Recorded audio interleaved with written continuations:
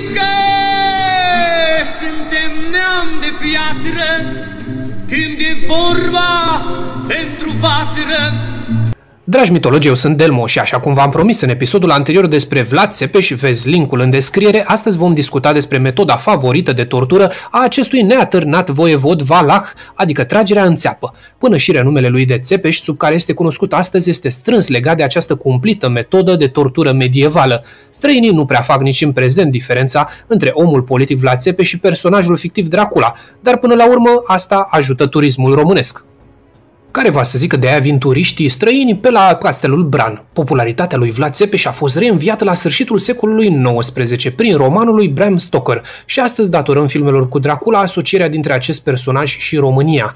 Însă pe noi ne interesează cum a ajuns acest celebru voievod să tragă lumea în țeapă, care este originea acestei metode cumplite de tortură. Și întrebarea e una firească, că tot eu răspund la ea, mai ales dacă e privită prin context istoric, căci în perioada medievală în care a trăit și Vlad Țepeș, căutarea și aplicarea unor metode cât mai dureroase de execuție era o îndeletnicire cât se poate de normală, pentru că Țepeș nu era nebun așa cum îl crede lumea astăzi. Și dacă vreți să vedeți toate miturile care circulă despre Vlad Țepeș demontate, dați click chiar aici, sus în dreapta pe iconiță. Cu toate acestea revenind, există unele motive pentru care voievodul Valah a ales tragerea în țeapă drept metodă favorită de ucidere a dușmanilor țării și a trădătorilor în special, în detrimentul altor asemenea metode precum dezmembrarea de viu prin intermediul a patru cai legați de mâini și de picioare, arderea pe rug, tăierea în două cu fierăstrăul, jupuirea de viu, tragerea pe roată sau aruncarea victimei în grob cu câini, lupi sau urși.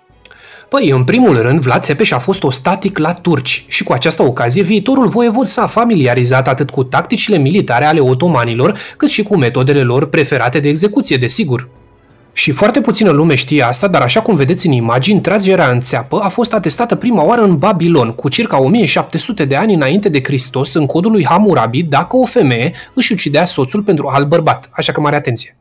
Așadar, originea acestei nebunii este babiloniană, însă metoda cumplită și-a trăit vârsta de aur în perioada medievală a Imperiului Otoman. Fiind observator, Vlad Țepeș a notat nu numai durerea teribilă provocată de tragerea în țeapă, dar și groaza și repulsia extremă pe care trasul în țeapă îl exercita asupra turcilor musulmani, mai ales din pricina religiei lor.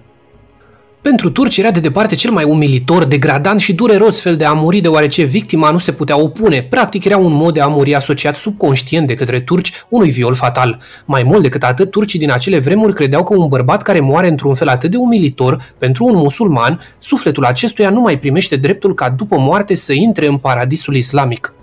Un alt motiv pentru care voievodul Vlad Răculea s-a oprit asupra tragerii în țeapă a fost impactul psihologic deosebit creat de această metodă asupra privitorilor și mai ales a potențialilor dușmani. Conform surselor istorice și chiar a evidențelor anatomice, tragerea în țeapă era probabil cel mai dureros mod de execuție din toată perioada medievală.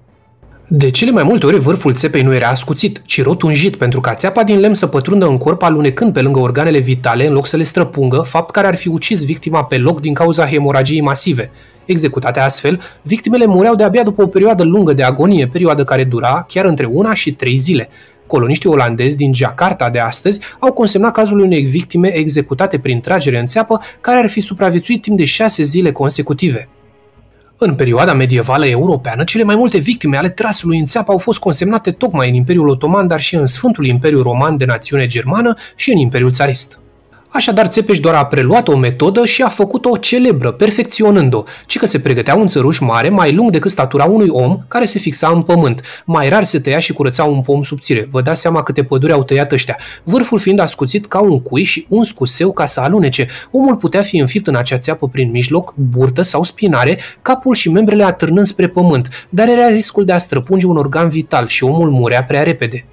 Dar cum Țepe și călăii lui erau băieți finuți, lui îi plăcea să culce victima pe pământ cu brațele legate la spate, înfigându-i se țeapa prin fund, trăgând apoi de amândouă picioarele legate cu frânghii la glezne. Pe când nefericitul urla de durere și se zvârcolea, se trăgea de frânghii și se bătea și cu un ciocan de lemn în celălalt capăt al țepei încet încet, cu băgare de seamă și delicat pentru a nu străpunge cele două organe de care se știa că provoacă moarte imediată, ficatul și inima iar vârful țepei se scotea prin gură, dar de cele mai multe ori prin gât, între cap și umăr. Omul stătea astfel răstignit, în chinuri cumplite, dar cu organele vitale funcționând bine mersi.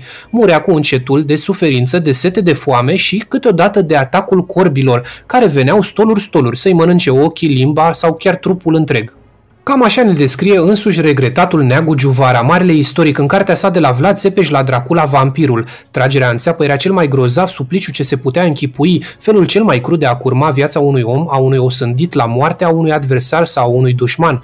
Scopul era de a răstigni omul în așa fel încât moartea să nu urmeze îndată, să nu fie imediată ca atunci când tai capul cu spada sau securea, ci omul să sufere dureri cumplite timp de ore întregi sau chiar zile până își dădea sufletul.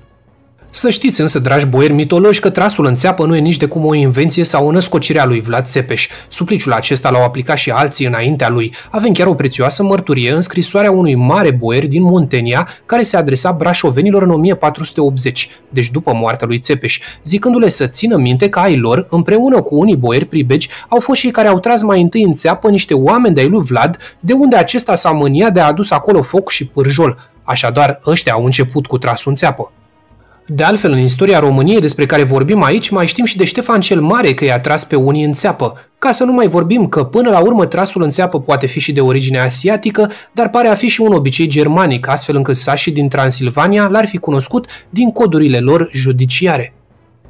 Dar ce îl va distinge pe Țepeș de toți înaintașii și chiar de toți urmașii lui e numărul înfiorător de mare al victimelor sale și aș mai adăuga ceva, dacă a putut trage în țeapă atâta mulțime de oameni, câteodată mai mulți la oaltă, înseamnă că a găsit și mulți călăi îndemânatici, care pe semne resimțeau și o plăcere sălbatică de a-i supune pe semenii lor la asemenea cazne. Din păcate, astfel de cruzime vicioasă nu a existat doar în vremurile tulburi ale evului mediu întunecat, ci și în vremurile noastre și la toate națiile.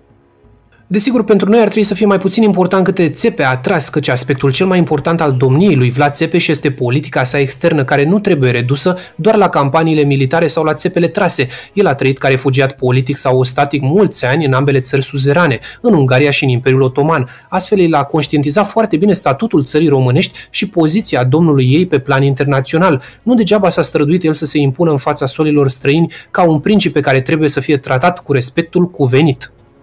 Și chiar dacă aceste legende medievale despre Țepeș sunt exagerate, ele nu fac altceva decât să ne dezvăluie dimensiunile și principiile programului său de guvernare, din care ar trebui să se inspire, să fim sinceri, chiar și guvernanții din zilele noastre. Măsuri drastice împotriva hoției, promovarea muncii și pedepsirea leneșilor, primul program cunoscut de integrare a țiganilor prin implicarea lor în luptele cu turcii, primul program cunoscut de igienizare a societății, desfășurarea unui comerț cinstit și, desigur, fidelizarea boierimii prin pedepsirea drastică a trădătorilor.